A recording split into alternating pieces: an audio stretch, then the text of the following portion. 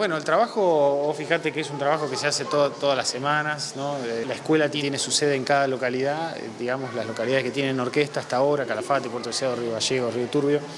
eh, Careto Olivia, que arrancó hace poco. Lo que hacemos en este Glaciares en Concierto, bueno, es una forma más de motivar a todos esos estudiantes a través de una agenda de festival, una agenda de festival que tiene, por un lado, talleres, la posibilidad de conocer músicos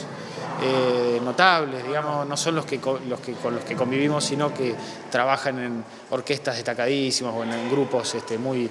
muy este, destacados. Con tenerlos acá un ratito ya eh, nos motiva a todos, ¿no? para que las orquestas de Santa Cruz, bueno, sigan creciendo, que, los, que las familias y, que tienen chicos que están estudiando un instrumento eh,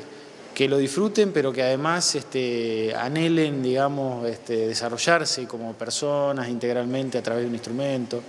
que puedan crecer, que, tengan desafíos. La docencia en arte es una cosa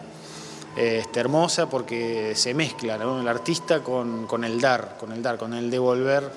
un montón de experiencias y de, y de conocimientos.